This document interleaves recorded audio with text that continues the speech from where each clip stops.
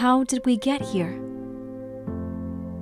How did we get to this place where we're inspired by our own creations? Let's go back. Before there was even one footprint, we were bystanders, consumed by the beauty around us, beyond comprehension. Landscapes of awe and inspiration.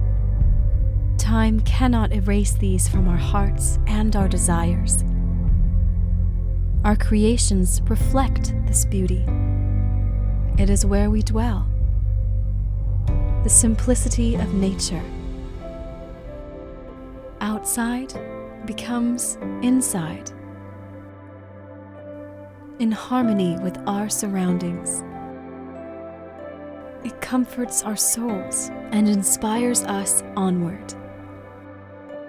Solitude becomes community, a greater sense of place amidst the beauty. Artists, artisans, and craftsmen comply Yet society demands more. The balance erodes. Progress?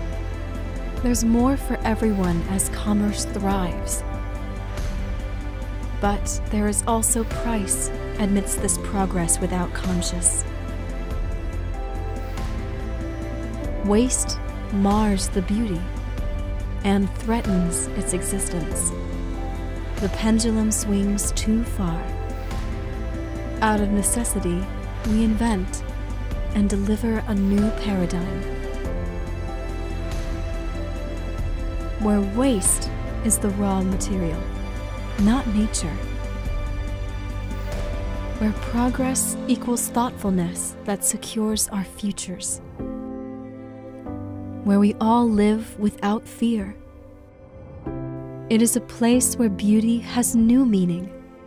We believe beauty must restore, beauty must contribute.